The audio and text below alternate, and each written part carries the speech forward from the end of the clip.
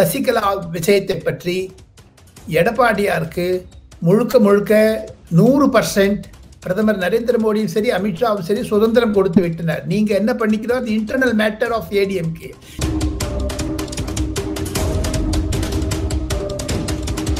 அமமுகவிற்கு national democratic அலையன்ஸில் சேர்ந்ததுன்னா எனக்கு வரக்கூடிய தகவல்கள் இப்பொழுது அதுக்கான அழுத்தத்தை டிடிவி தினகரன் பாரதிய ஜனதா கட்சி தலைவர்களுக்கு தந்து கொண்டு வருகிறார் என்று தான் எனக்கு கிடைக்கக்கூடிய தகவல்கள் தெரிவிக்கின்றன.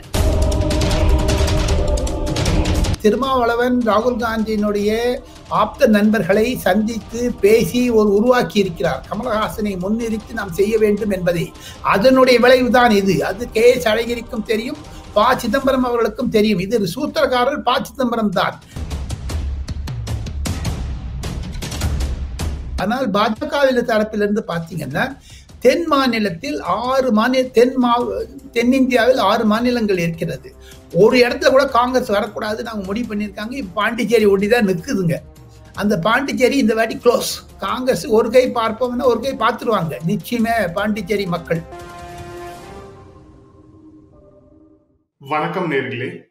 டெல்லியிலிருந்து பிரத்யேக தகவலை சாணக்கியாவுக்கு பகிர்ந்து வரும் மிக மூத்த பத்திரிகையாளர் டெல்லி ராஜகோபாலன் சார் நம்முடன் இணைகிறார்.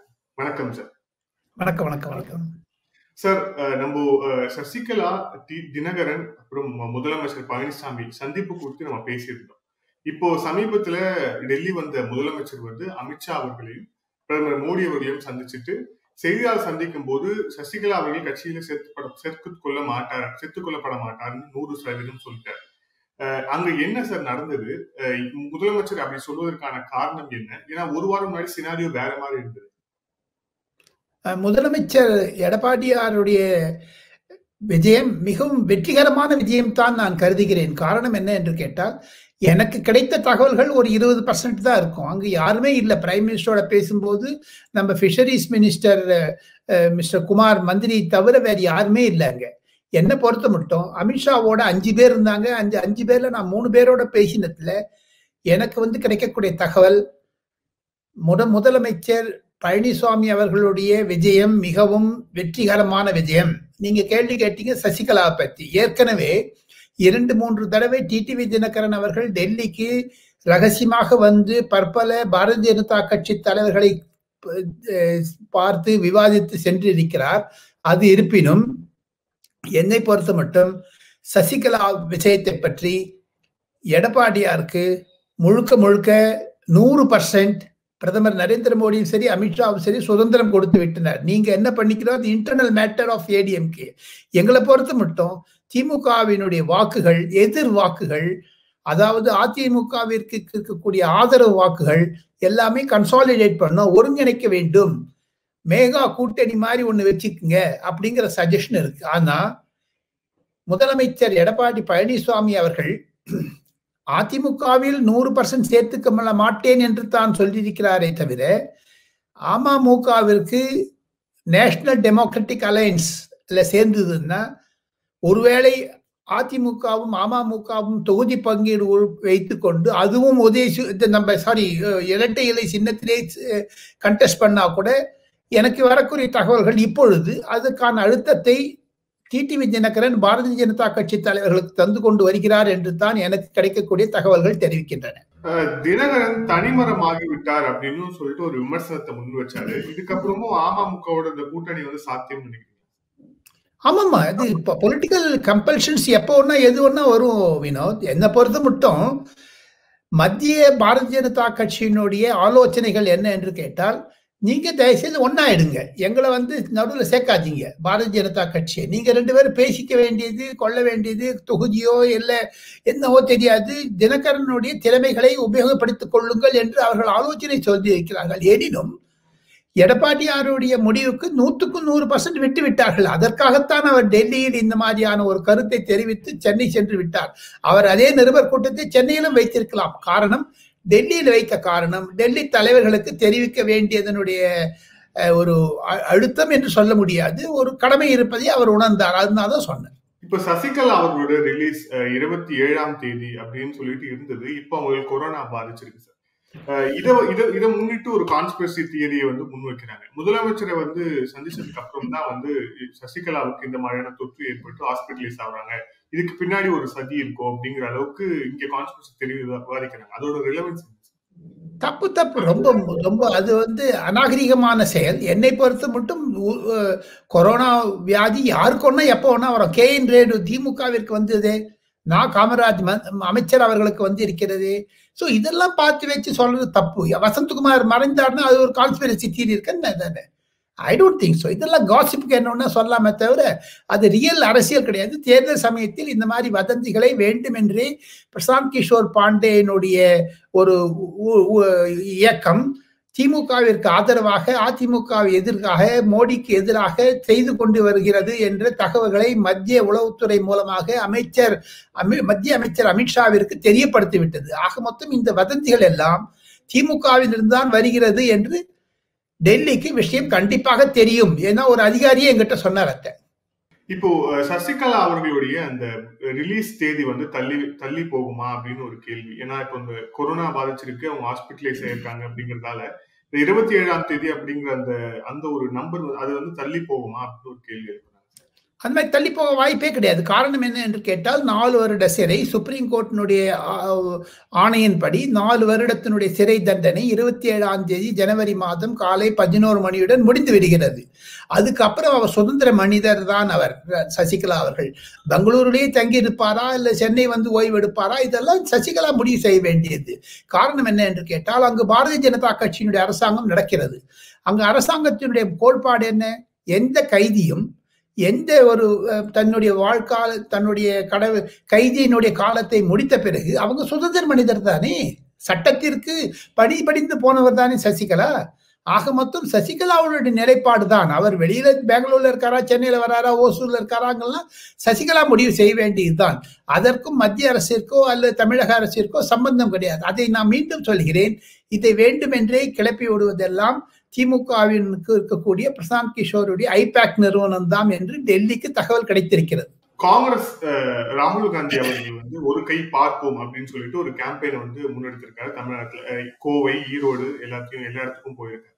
இந்த கேம்பெயின் திடீர் கேம்பெயினோட இந்த அவசியம் எங்க இருந்து வருது அதற்கு பற்பல பிற்ப பேக்ரவுண்ட் இருக்கு திரைமறைவு சம்பவங்கள் பற்பல நடந்திருக்கு வினோத். சாணக்கியன் நேயர்களுக்கு நான் தெரிவித்துக் கொள்ள வேண்டியது என்ன என்றால் கடந்த ஒரு மாத ஆண்டுகளாக ராகுல் காந்தி இட்டாலி சென்று விட்டார் இருபது நாள். அது நடுவே திருமாவளவன் ராகுல் காந்தியினுடைய ஆப்த நண்பர்களை சந்தித்து பேசி ஒரு உருவாக்கி இருக்கிறார். கமலஹாசனை முன்னிறுத்தி நாம் செய்ய வேண்டும் என்பதை. அதனுடைய விளைவுதான் இது. அது கே எஸ் அழகிரிக்கும் தெரியும் ப சிதம்பரம் அவர்களுக்கும் தெரியும். இது சூத்திரக்காரர் ப சிதம்பரம் தான்.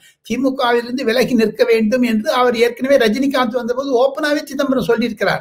அந்த சூழ்நிலையை ஒன்று வைத்து பார்த்தால் எனக்கு கிடைக்கக்கூடிய தகவல்கள் விடுதலை சிறுத்தை கட்சியினுடைய தலைவர் திருமாவளவனும் அந்த ரவிக்குமார் எம்பியும் ராகுல் காந்தியுடன் மிகவும் நெருக்கமாக இருக்கிறார்கள். அவர்களுடைய ஆலோசனை பேர் தான் ஒரு கை பார்ப்போம் என்கிறார். ஒரு கை யாரு பார்க்கறது? அது இந்த ஸ்லோகமே தப்பான ஒரு கோஷமாச்சு. காங்கிரஸ் ஒர்க்கிங் கமிட்டி மீட்டிங்ல ஒரு கை பார்த்துட்டாங்களே அவங்களே. காங்கிரஸ் தான் கையே இல்லாத போது ஒரு கை என்னத்து பார்க்கறது? இந்தியாவில இந்த கையை எடுத்துட்டாங்களே. நாற்பத்தி நாலு சீட்டு இப்ப ஐம்பத்தி ரெண்டு சீட்டு. கை உடைந்த ராகுல் காந்தி தானே அவர்? கை அதாவது கை சின்னம் உடைந்த ராகுல் காந்தி தானே? மின்பெல்லாம் சிடபிள்யூசி என்றால் அதற்கு ஒரு அதிரல் ஏற்படும். இப்பொழுதெல்லாம் ஒண்ணுமே கிடையாது. காரணம் கொரோனாவிற்கு தவிர கம்ப்யூட்டர்லேயே வீடியோ கான்ஃபரன்ஸ் முடிச்சு விட்டுறாங்க. யார் என்ன பேசணுங்கிறதெல்லாம் ஒண்ணுமே தெரியாது. பன்னெண்டரை மணின்னா பன்னெண்டரை மணிக்கு லாகின் பண்றாங்க. ஒரு மணிக்கு மீட்டிங் முடிஞ்ச போது அவங்க கை தட்டிட்டு எழுந்து போயிடுறாங்க. ஆனால் ஒரு சீரியஸான டிஸ்கஷன் வருதான்னு கண்டுபிடிக்க முடியல. ஒன்று அதே தவிர சிவகங்கையிலிருந்து சென்னையிலிருந்து ப சிதம்பரம் கலந்து கொள்கிறார். டெல்லியிலிருந்து ஒருத்தர் கலந்துக்கிறாங்க கேரளாலேருந்து ஒருத்தர் கலந்து ஆக மொத்தம் மூளை முடுக்குகளில் இருந்து தான் கலந்து கொண்டு பேசும் கூட அந்த ஒரு என்னை பொறுத்து மட்டும் ஒரு அந்த காரிய கமிட்டி கூட்டத்தில் அசோக் கெய்லட் அவர்களுக்கும் ஆனந்த் சர்மா அவர்களுக்கும் கடுமையான வாக்குவாதம் நடந்தது. அச்சடிக்க முடியாத ஒரு அவதூறுகளையும் கெட்ட வார்த்தைகளையும் பேசினார்கள் என்று தான் நான் கேள்விப்பட்டேன். அதனுடைய வீடியோக்கள் கூட சமீப காலமாக இந்த மொபைல் ஃபோனில் வந்துட்டு இருக்குதுங்க என்னை பொறுத்து மட்டும் எங்களுக்கும் தெரியும். அந்த வீடியோலாம் வெளில விட்டால் நம்ம ஆக தான் சில முகுல் வாஸ்னிக் போன்றவர்கள் என்னென்ன பேசினாங்க என்பது சிதம்பரத்துக்கே தெரியும். அது சொல்லாது இருக்காது. அந்த மாதிரி ஒரு சூழ்நிலை காரிய கமிட்டியில் தேர்தல் வைக்க வேண்டும் என்று குலாம் நபி ஆசாத் சொன்னதுனால தான் அவருக்கு மேல இருக்கிற கோபம் வந்தது ராகுல் காந்திக்கு. அதையும் தவிர இப்போ இன்னொரு சாணக்கியனுடைய நேயர்களுக்கு நான் முக்கியமாக சொல்லக்கொள்வது என்னென்றால் காங்கிரஸ் ஒர்க்கிங் கமிட்டி தேர்தலை தவிர காங்கிரஸ் தலைவர் தேர்தலை தவிர சென்ட்ரல் எலெக்ஷன் அத்தாரிட்டி என்று வாக் வேட்பாளர்களை நிர்ணயிக்கக்கூடிய அந்த அமைப்பிற்கும் தேர்தல் வேண்டும் என்று கூறுகிறார்கள். கபில் சிபல் போன்றவர்கள் முகுல் வாஸ்னிக் போன்றவர்கள் சிதம்பரம் போன்றவர்கள். அப்புறமா வந்து உங்களுக்கு ஆனந்த் சர்மா குலாம் நபி ஆசாத் அல்ல. ஆக மொத்தம் காங்கிரஸ் காரிய கமிட்டியில் மிகவும் வாக்குவாதம் டிஷும் டிஷும் என்று சண்டை என்று நேற்று தினமலரில் நான் ஒரு ஸ்டோரி பார்த்தேன். டெல்லியில் இருக்கக்கூடிய டைம்ஸ் ஆஃப் இந்தியா ஹிந்துஸ்தான் டைம்ஸ்ல அந்த சுனேத்ரா சௌத்ரி என்பது மனிஷ் திவாரியை கோட் பண்ணியே போட்டிருக்காங்க ஸ்டோரி கண்டு வாக்குவாதம் நடந்தது என்று. அதையும் தவிர சில முக்கிய காங்கிரஸ் ஒர்க்கிங் கமிட்டி மெம்பர்ஸோட நான் பேசின போது அவங்க தான் அந்த வீடியோ என்கிட்ட காமிச்சாங்க. அதுல பாத்தீங்கன்னா ஹிந்தியில ஒரு மிகவும் ராஜேஷ் நம்ம அசோக் கேலட் வந்து கடுமையான வார்த்தையை பேசியிருக்கார். அதுவும் அச்சடிக்க முடியாத கெட்ட வார்த்தையில பேசியிருக்காரு. இதெல்லாம காங்கிரஸ் நடக்குது? இவங்க சென்னையில வந்து ஒரு கை பார்ப்போங்கிறாரு. காங்கிரஸ் கையை உடஞ்சு போச்சு. என்ன இவர் ஒரு கை பார்க்க முடியும்? ராகுல் காந்தி. இப்போ அதை தொடர்ந்து பாண்டிச்சேரியில ஒரு விஷயங்கள் நடந்துகிட்டு இருக்கு. பாண்டிச்சேரியில நாராயண நாராயணசாமி முதலமைச்சரா இருக்காரு. திமுக தனியா ஒரு தனியா ஜெகத் ரட்சகனை ப்ரொஜெக்ட் பண்றது ஐடியால இருக்காங்க. நமச்சிவாயம் பாஜக சேர போறாரு என்ன நடந்துட்டு இருக்கு சார்? பாண்டிச்சேரி காங்கிரஸ்ல? பாண்டிச்சேரி மட்டும் டெல்லியிலிருந்து ஒரு நோக்க நீங்க பார்த்தால் பாண்டிச்சேரியில் மிகவும் விசித்திரமான சூழ்நிலை வினோத். காரணம் என்ன என்று கேட்டால் நரேந்திர மோடி அவர்கள் அமித்ஷா அவர்கள் ரெண்டாயிரத்தி பத்தொன்பதில் மிகவும் ஊக்கி வைத்து கிரண் பேடியை வைத்து அங்க கவர்னரா இருக்காங்க. அந்த அம்மாவுக்கு எல்லா விஷயம் தெரியும். இந்த கிரண் பேடியினுடைய ஒரு அங்க போஸ்டிங் போட்டதே வி நாராயணசாமி அவர்களை ஒடுக்க வேண்டும் என்று தான். வி நாராயணசாமி பேசுவார தவிர அவர் ஒன்றும் சரியான இது இல்லைங்க. இனிமேல் அவெல்லாம் முடிஞ்சு போன கதை. ஏன் அரசியல் வாழ்க்கை அவருக்கெல்லாம் ஒண்ணுமே இனிமேல் கிடையாது. அவர் பை முதியவர் ஆகிவிட்டார் இருக்கக்கூடிய பதவிகளை அனுபவித்து விட்டார். அவருக்கு எதிராக பற்பல காங்கிரஸ்காரர்கள் போர்க்கொடி தூக்கி ஆரம்பித்து விட்டனர். டெல்லியில் வந்து அவர் சொல்லியிருக்கிறார் நம்ம வந்து காரணம் என்னன்னா டெல்லியில் அவர் சொல்லியிருக்கிறார் ஆன்டி டிஎம்கே ஃபேஸ் பண்ணியிருக்காரு. அவரும் சிதம்பரமும் they're on the same page என்னன்னு கேட்டீங்கன்னா திமுகவுடன் உறவு வேண்டாம் என்று சொல்லியிருக்கிறார்கள்.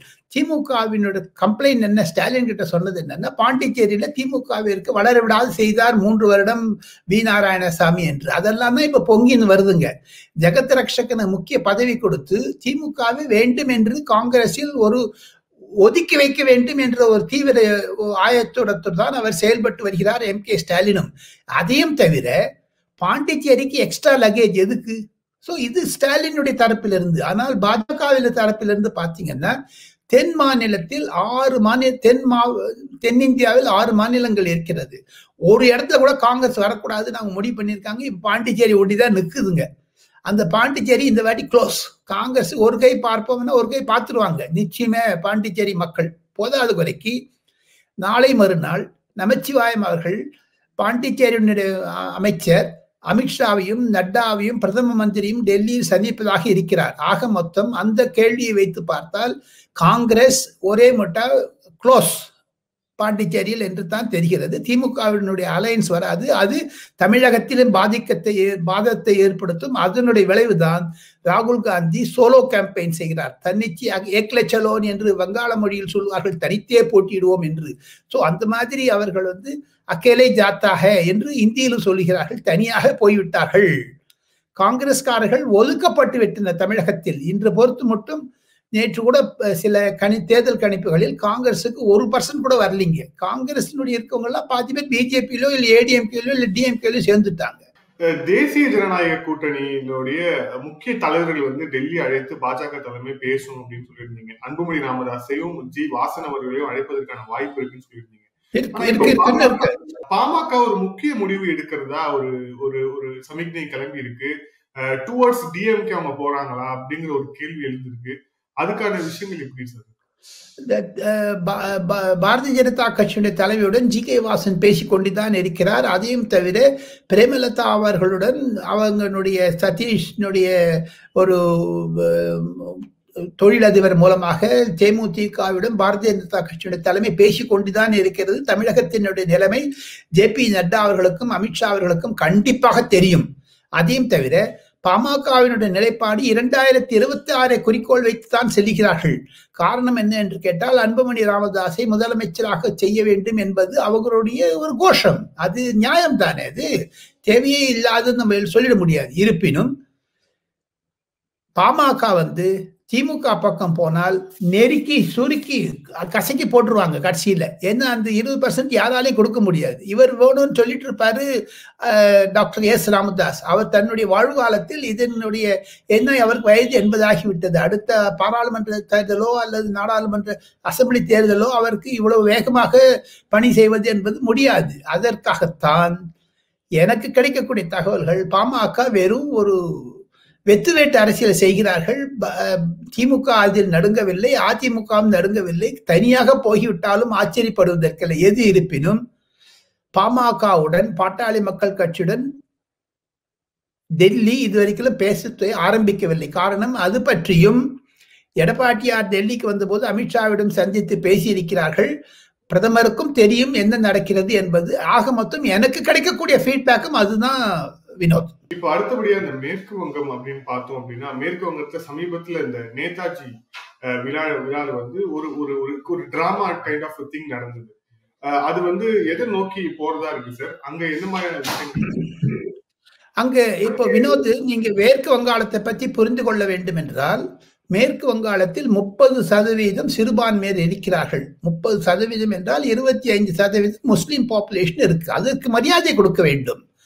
அதற்கு அதனுடைய பின்னணியில் தான் முதலமைச்சர் மம்தா பானர்ஜி அந்த முப்பது பர்சன்ட் ஓட்டை விடக்கூடாதுன்னு பிடிச்சிட்டு இருக்காங்க அந்த முப்பது பர்சன்ட் பாஜகவுக்கு வராது. அந்த முப்பது பர்சன்ட்ல பங்களாதேஷ்ல இருந்து வந்தவங்க ரோஹிங்யாஸ் எனக்கூடிய பர்மாவில் இருந்து வந்தவர்களுக்கெல்லாம் குடியுரிமை திட்டத்தை கொடுத்து அதையும் அதையும் தவிர பாரதிய ஜனதா கட்சி கடந்த மூன்று ஆண்டுகளாக மிகவும் சிறப்பாக செயல்பட்டு வருகின்றது. பதினெட்டு எம்பி வந்திருக்காங்க டூ தௌசண்ட் நைன்டீன்ல வினோத்.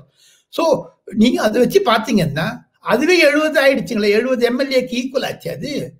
ஸோ எண்பத்தி நாலு இன்ஃபேக்ட் எண்பத்தி நாலு எம்எல்ஏக்கு ஈக்குவல் அதை தவிர பாரதிய ஜனதா கட்சி என்பது எழுபது சதவீதம் உள்ள இந்துக்களை நேசிக்கிறது அதற்காகத்தான் அவர்கள் அந்த ஒரு போராட்டத்தையும் ஆரம்பித்தார்கள் வேண்டுமென்றே மம்தா பானர்ஜி ப்ரோவோக் செய்ய வேண்டும் என்று தான் அந்த ஜெய ஸ்ரீராம் கோஷம் ஒரே ஒரு ஆள் போட்டாருங்க நீங்க கூட டெலிவிஷன்ல பார்த்துருக்கலாம் நான் மேற்கு வங்க பத்திரிகைகளிலும் படித்தேன் ஒரே ஒருத்தர் தான் அது கோஷம் போட்டார் அதுக்கு கோபம் தெரிச்சு அந்த அம்மாக்கு শ্রীমতী মমতা ব্যানার্জিকে অনুরোধ জানাবো তার বক্তব্য রাখার জন্য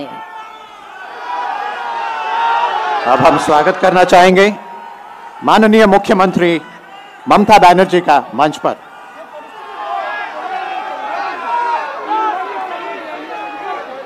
आप आप लोग जरा सा शांत हो जाएँ। आप लोग जरा शांत हो जाएँ और इस पावन अवसर पर श्रीमती ममता बनर्जी को मौका दीजिए कुछ शब्द कहने का। नहीं नहीं, मेरे को तो लगता है कि गवर्नमेंट का प्रोग्राम का कोई डिग्निटी होना चाहिए एक गवर्नमेंट का प्रोग्राम है कोई पॉलिटिकल पार्टी का प्रोग्राम नहीं है और पॉलिटिकल पार्टी का और गवर्म का पब्लिक का प्रोग्राम है मैं तो आभारी हूँ प्रधानमंत्री जी का कल्चरल मिनिस्ट्री का कि आप लोगों ने कोलकाता में प्रोग्राम बनाया ஸோ மீதி அந்த எழுபது பர்சன்ட் பேருக்கு அவங்க கோவம் வராதா அவங்களுக்கு ஜெய் ஸ்ரீராம் சொல்வதில் என்ன தவறு என்று தான் அவர்கள் கேட்கிறார்கள் மேற்கு வங்கத்தில் பொறுத்த மட்டும் எழுபது பர்சன்ட் இந்து ஓட்டு முப்பது பர்சன்ட் முஸ்லீம் ஓட்டு சிறுபான்மையர் ஓட்டு. பெரும்பான்மையர் சிறுபான்மையர் ஓட்டு வங்காளத்து தான் அது பிரச்சனையாகி வருகிறது. அங்கதான் ஓவைசி போப்புறாரு இப்போ. ஓவைசி போயிட்டாருன்னா கண்டிப்பாக மம்தா பானர்ஜியினுடைய முப்பது பர்சன்ட் ஓட்டுல அதை குறைப்பார். அந்த ஒரு கோபத்தினால தான் எப்படி பீகாரில் ஓவைசி காங்கிரஸை வரவிடாது செய்தாரோ அதே மாதிரி பாஜக உறுதுணையாக இருந்து மேற்கு வங்கத்தில் மம்தா பானர்ஜியை வரவிடாது இருப்பதற்கு செய்வார். அந்த முஸ்லீம் ஓட்டு வங்கி பிரிப்பார் என்ற பயத்தில் தான் இந்த மாதிரி ஜெய் ஸ்ரீராம் சொன்னாலே கோபம் வந்துடுது அந்த அம்மாவுக்கு. இப்ப சொல்றாங்க ஏன் பிரதமர் அமைச்சரை வந்து கண்டம் பண்ணலன்னு எதுக்காக கண்டனம் தெரிவிக்க வேண்டும்? அதுக்கு யாரோ ஒருத்தர் ஒரே ஒருத்தர் சேர்ந்தது பாரதிய ஜனதா கட்சியுடைய நிலைப்பாடு இல்லையே. இறுதியான கேள்வி சார் தமிழகத்துல தேர்தல் தேதி வந்து இன்னும் அறிவிக்கப்படல. அது எப்ப அறிவிக்கப்படும்? அதுக்கான அதிகாரப்பூர்வ அறிவிப்பு எப்ப எதிர்பார்க்கலாம் நான் வந்து த- தலைமை தேர்தல் சுனில் அரோராவிடம் தொலைபேசியில் பேசினேன். அதையும் தவிர அங்கு சுஷில் சந்திரா என்பவர் தான் அடுத்ததாக தேர்தல் தலைமை தேர்தல் அதிகாரியாக வர இருக்கிறார். காரணம் என்ன என்று கேட்டால் ஏப்ரல் பன்னிரெண்டாம் தேதி சுனில் அரோரா ஓய்வு பெறுகிறார். அவருக்கு அறுபத்தைந்து வயது முடிந்து விட்டது. ஸோ அவருக்கு வந்து அதற்கு முன்னாடியே தேர்தலுடைய அறிவிப்பை செய்து விடுவார். என்னை பொறுத்து மட்டும் உமேஷ் சின்ஹா என்பவர் நாளையோ அல்ல நாளை மறுநாளோ சென்னை வர இருக்கிறார். இரண்டாவது முறையாக அவர்தான் டெப்டி எலெக்ஷன் கமிஷனர். அவர் வந்து சில முக்கியமான ஒருங்கிணைப்புகளை செய்து விடுவார். பிப்ரவரி ஐந்து அல்லது ஆறு தேதி வாக்கில்தான் தேர்தல் கமிஷனுடைய மூத்த சுனில் அரோரா அவர்கள் தலைமை தேர்தல் அதிகாரி அதையும் தவிர தேர்தல் அதிகாரிகள் கமிஷனர்களான ராஜீவ்குமார் என்பவரும் சுஷில் சந்திரா என்பவரும் மூவரும் சென்னைக்கு வர இருக்கிறார்கள். அப்போதுதான் ஒரு ஒரு ஆயத்தங்கள் முடிவடையும். காரணம் என்ன என்று கேட்டால் தேர்தல் தேதி முறி குடிக்க வேண்டும் என்றால் பொது பள்ளிக்கூடங்களுக்கு விடுமுறை வேண்டும் காவல்துறைகள் வேண்டும். அதையும் தவிர கிளைமேட் கண்டிஷன் மழை வரக்கூடாது. அதில் ஒரு பத்து பதினஞ்சு ஸ்டாண்டர்ட் புரோட்டோகால் இருக்கு. அதை பற்றி டிக் மார்க் பண்ணிட்டே வந்துடுவாங்க. பேசிட்டு இருக்கும்போது அதுக்காக சீஃப் செக்ரட்டரியும் டிஜிபியும் பார்க்க வராங்க அவங்க. அனைத்து க அரசியல் கட்சி தலைவர்களும் சந்திப்பார்கள் என்று தெரிகிறது. அங்கிருந்து புதுச்சேரிக்கும் கேரளாவிற்கும் செல்ல இருக்கிறார் சுனில் அரோரா சுஷில் சந்திரா பிளஸ் ராஜீவ்குமார் மூவரும். ஸோ அதுதான் டேர்னிங் பாயிண்ட் என்னை பொறுத்து மட்டும் பிப்ரவரி எண்டிலையோ இல்லை மார்ச் ஃபர்ஸ்ட் வீக்கில் தேர்தல் தேதிகள் அறிவிக்கப்படவிடும். மே மாதம் சிபிஎஸ்இ எக்ஸாம்ஸ் இருக்கிறதுனால என்னை பொறுத்து மட்டும் ஏப்ரல் இருபத்தி ஐந்து தேதிக்குள் தேர்தல் முடிவுடன் வெளில வந்துவிடும். மூன்று நான்கு கட்டங்களாக தேர்தல் நடத்த இருக்கிறார்கள் மேற்கு வங்காளத்தில். அந்த ஒரு கட்டத்தில் தான் தமிழகத்திலும் பாண்டிச்சேரியிலும் புதுச்சேரியிலும் கேரளாவிலும் தேர்தல் நடந்துவிடும் என்று எதிர்பார்க்கப்படுகிறது. எனக்கு கிடைக்கக்கூடிய சங்கதிகளை வைத்து செய்திகளை வைத்து பார்த்தால் ஏப்ரல் முதல் வாரத்தில் தமிழகத்திலும் கேரளாவிலும் புதுச்சேரியிலும் தேர்தல் நடைபெறும் என்று தான் எனக்கு கிடைக்கக்கூடிய செய்திகள் கிடைக்கின்றன sir Delhi two G case பத்தி ஆமா இது இருபத்தி மூணு பிப்ரவரி மட்டும் கொண்டு போயிருக்காங்க. இருபத்தி மூணாம் தேதி பிப்ரவரி மாதம் ஆரம்பிக்கும். எது இருப்பினும் அது நீண்ட ஒரு காலமாக இழுத்து விட்டார்கள். அவங்க வந்து நானூத்தி ஐம்பது பக்கத்தை தமிழில் மொழிபெயர்த்து கேட்கிறார்கள் கனிமொழியும் ராஜாவும். சப்போஸ் தமிழில் கொடுத்தோம்னா அது இந்தியில் கொடு இங்கிலீஷில் கொடு வேண்டுமென்றே காலம் தாமதம் செய்கிறார்கள். அதையும் தவிர ஆ ராஜா கனிமொழி மீது அந்த ஒரு கத்தி எப்போ ஒன்னா தலைமையில் இருக்குங்க வினோத். எனி டைம் அவங்க வந்து அங்க தேர்தல் அந்த இரண்டு தொகுதிகளிலும் தேர்தல் நடப்பதற்கான ஆயத்தங்கள் இருக்கின்றன அவர்கள் பதவி இழக்கக்கூடிய நிலைமைதான் தான் கொண்டு விடும் என்று வழக்கறிஞர்கள் அவர்களுடைய ஆர்குமெண்ட்ல இருந்து பார்த்தா அப்படி தெரியுது. இனிமேல் வந்து வர்ச்சுவலா தான் அந்த two G case Yogesh Kanna என்பவருடைய நிலை நிலையில் தான் அது விசாரிக்க இருக்கிறார்கள். வழக்கறிஞர்களிடையே வாதங்கள் தான் இருக்குமே தவிர சாட்சியங்கள் எல்லாம் கூப்பிட போவதில்லை. எது இருப்பினும் மார்ச் இறுதிக்குள் தேர்தல் டூஜியினுடைய வழக்கு கண்டிப்பாக நிலைமைக்கு வரும் தீர்வு காணும் என்று தான் வழக்கறிஞர்களுடைய நடுவே டெல்லியில். நன்றி சார். இவ்வளவு நேரம் நேற்று ஒட்டி கருத்து பண்ணிருக்கு நன்றி சார்.